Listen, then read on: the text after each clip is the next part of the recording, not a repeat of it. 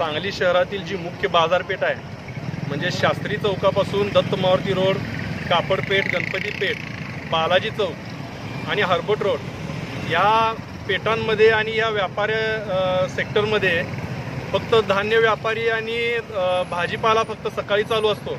पण हे सोडून इतर छोटे मोठे दुकानदार जसं की बुट्टीवाले आहे त्या कटलरीवाले आहेत केश कर्तनालय आहे किंवा चप्पलवाले आहेत चप्पल शिवणारे आहेत असे असंख्य छोटे मोठे व्यवहार ह्या रस्त्यांवरती चालतात.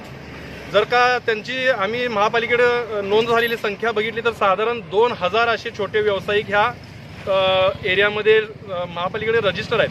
म्हणजे सुमारे दोन हजार कुटुंब आज गेली महिना झालं लॉकडाऊनमुळं घरात बसून आहेत. त्याचबरोबर ह्या दुकानामध्ये काम करणारा कामगार वर्ग घरामध्ये बसून आहे.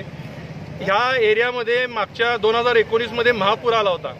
बरेचसे व्यावसायिक जे आहेत त्यांची घरंसुद्धा ह्या एरियामध्येच आहेत. त्यामुळे त्यांचं घरांचं नुकसान झालं होतं संसार उपयोगी साहित्याचं नुकसान झालं होतं त्यांच्या व्यवसायाचं नुकसान झालं होतं. त्यातून कसं तरी उभारतात तोपर्यंत लॉकडाऊन चालू झालं.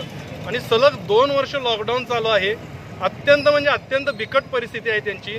सिलेंडर साडेआठशे रुपये झाला आहे तेल सव्वा दोनशे रुपये झाले. शाळेची फी कॉलेजची फी ट्युशनच्या फी थांबलेल्या नाहीत सरकारी कुठलंही कर थांबलेलं नाही विजेचं बिल थांबलेलं नाही.